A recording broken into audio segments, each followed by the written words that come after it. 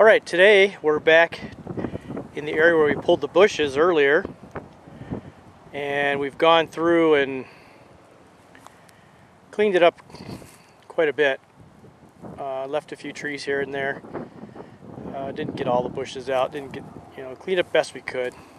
It's a lot of work. So today, I'm gonna get the Jubilee going the two bottom plow. We're gonna try to plow this area up. Hasn't been plowed up in 20 plus years. This used to be a cornfield.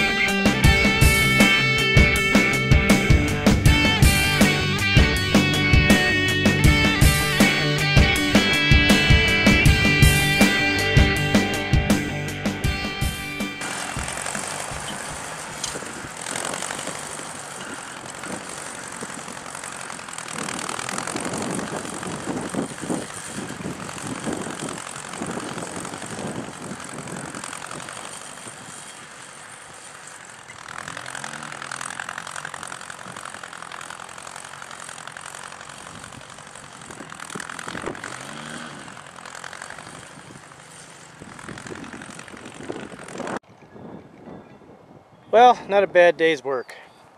Considering this field has not been plowed in over 20 years. A lot of roots and grass.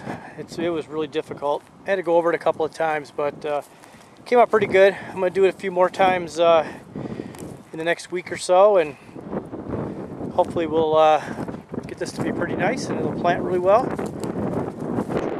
Perfectly. Can't ask for more than that.